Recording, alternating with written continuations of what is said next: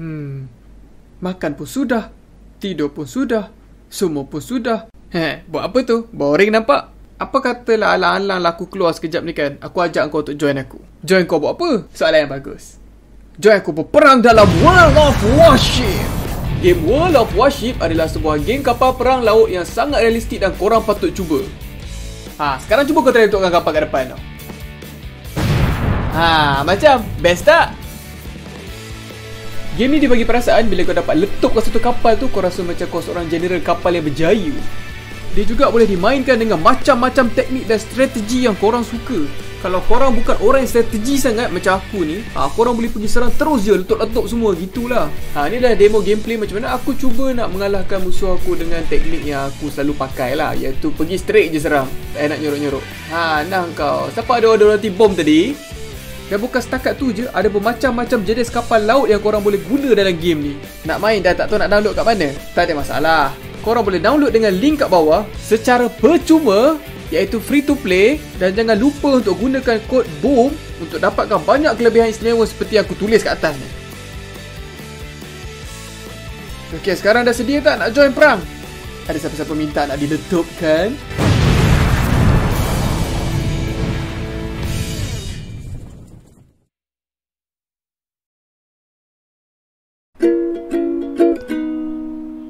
Malang tak berbau. Dan disebabkan itulah kita boleh nak agak bila malang akan terjadi. Tapi tak kucing berbau, kuat pun aku boleh je pijak. Apakah lagi malang kalau kita boleh bau kan? Apa-apa pun dalam cerita aku kali ni aku just nak share pasal benda-benda malang yang jadi dekat kawan-kawan aku. Aku rasa sepanjang sejarah kenakalan budak-budak, peliklah kalau diorang tak pernah terjatuh ke, terluka atau terpleot ke sebagainya sebab kita ni lemburah manusia. Kita akan belajar daripada kesilapan. Titi ni kuat ke? Cuba aku try test lompat. Satu. Dua. Tiga Alah Aku silap lah. Aku patut lompat dua kali je. Masa aku skor rendah Time rehat Budak-budak ni akan main macam-macam lah Lepas makan time rehat tu. Dia macam kau baru charge energy Lepas tu energy tu kau terus kena habis kan Saya sudah charge. Lari. Saya pun sudah charge. Lari. Alamak Saya overcharge Masa tu ada satu budak ni kat depan kantin ni Dia cabar aku dengan beberapa orang kat situ Untuk cuba pusingkan badan kita orang kat satu palang kita orang tengah duduk ni. Dia cakap senang je weh Tangan kau cuma kena pegang palang ni kuat-kuat Lepas tu kau pusingkan badan kau. Aku macam biasalah ada darah pahlawan Melayu Pantang dicabar Terus aku pun join je lah pusing sekali kan. Dan budak-budak lain pun ikutlah pusing sekali. Dan tiba-tiba ada seorang budak ni Dia salah teknik kot. Dia pusing dan dia terjatuh dan kepala dia landing first kat jalan tar. Apa lagi berdarah lah kan kepala dia masa tu. Dia terus dihantar ke klinik oleh cikgu kita orang. Aku tak ingat apa perasaan aku time tu. Tapi bila aku cerita ni balik, aku rasa macam kesian lah kat budak tu. Mesti ada parut sampai tua. Parut ke tak parut ke, jangan lupa untuk download World of Warship dengan link kat bawah. Dan gunakan kod BOOM untuk dapatkan banyak lagi keistimewaan yang boleh korang dapat. Ninja! Okay, back to story. Cerita kedua aku ni pula adalah cerita masa aku sekolah menengah. Disebabkan kawan aku ni still berkawan dengan aku sampai sekarang. Aku tanya dia dulu, okey ke tak aku nak share cerita kau ni? Dia kata, no problem. Cerita dia bermula dengan aku dan kawan-kawan aku ni yang memang aktif dan lasak sikit lah. Sebab kita orang ni tingkatan satu lagi time tu. So kita orang ni macam ada perangai budak-budak lagi lah. Dah tingkatan tiga, empat semua tu barulah kita orang ni start macam poyo sikit. Nak bajet cool je. Hei poyo. Kau lah poyo. Korang tak payah beri lah bergaduh. Korang dua-dua tu poyo. Masa tu aku dan beberapa orang kawan aku ni Kita orang ni terjumpa satu bilik ni Yang ada penuh dengan tilam. Bilik tu sebenarnya disimpan tilam-tilam spare Untuk student-student pakai Dan juga tilam-tilam yang rosak. Tapi sebabkan kita orang dah jumpa bilik tilam tu Dia dah tak jadi bilik tilam dah lah. Kita orang masuk dalam bilik tilam tu Dan kita orang gunakan bilik tu sebagai tempat Untuk kita orang praktis melompat. Macam-macam gaya lompat kita orang boleh praktis kat situ. Masa tu kita orang pun lompat tinggi-tinggi Dan landing kepala kita masuk dalam tilam. Best lah. Lepas tu tiba-tiba seorang kawan kita orang ni Izzat nama dia dia lompat dan bila dia landing jatuh kat atas tilam tu Dia keluar balik dan mengerang sakit. Bila dia angkat tangan dia Rupa-rupanya jari dia bengkok. Kita orang masa tu ada yang rasa terkejut Ada yang rasa kesian Ada yang rasa kelakar sikit. Macam-macam lah mixed feeling gitu. Lepas tu adalah seorang kawan kita orang ni Amer nama dia Dia pergi luruskan balik jari Izzat ni. Sikit je ni weh. Sikit je ni. Kau tahan eh. Kau tahan eh Uh, okay, okay.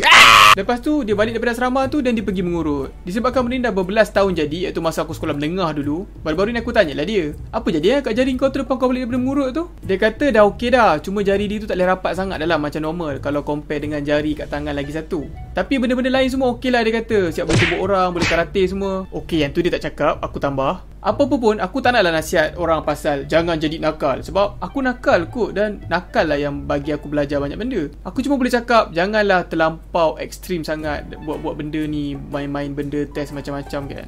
Macam panjat bangunan ke Atau lompat keluar dari tingkat 3 ke Kita bukan watak game Nak tolak nyawa satu Kita tolak semua nyawa terus. Apa-apa pun berhati-hatilah. Sebab aku kata di awal video tadi Malang tak berbau. Kalau malang ni boleh berbau Lain cerita dia jadi ni. Malang. Malang. Ni macam bau malang ni. Alamak apa benda nak jadi ni? Oh Ni je ke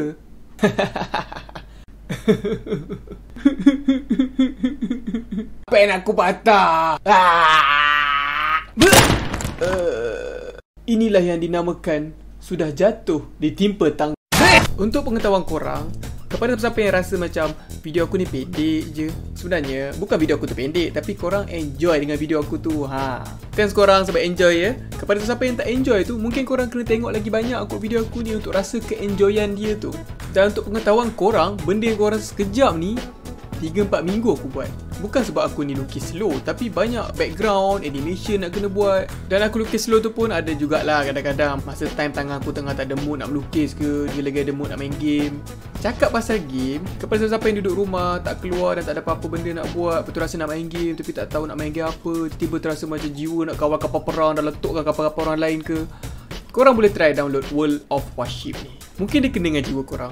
Macam biasalah Link dia dekat bawah Dan korang boleh download Dan main secara percuma Dan thanks sangat-sangat kepada Wargaming Kerana sponsor video aku kali ni dan macam biasalah kali ni aku nak thanks kat kawan aku sebab izinkan aku guna cerita dia. Kali ni aku call lah dan tanya. Yalah selalunya aku tak buat macam tu kan. Sebab kali ni aku rasa aku nak cerita sikit pasal berkaitan dengan fizikal orang tu. Jadi aku tak tahulah kalau tiba-tiba dia tak suka ke aku cerita pasal jari dia kan. Ha, tu aku tanya tu. Satu lagi aku sangat-sangat nak ucap terima kasih kat geng-geng membership aku ni. Aku baru sebulan je buat. Baru baru experience lah. Tak berapa hebat lagi dalam membership-membership ni.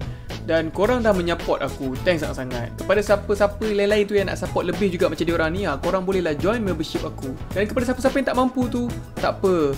Korang tengok video aku 20-30 kali pun sangat-sangat dah mencukupi dah Menyupport aku sebenarnya. Ha, Tak ada apa-apa dah kot aku nak luahkan sangat rasanya. Jumpa lagi lah kat next video. Bye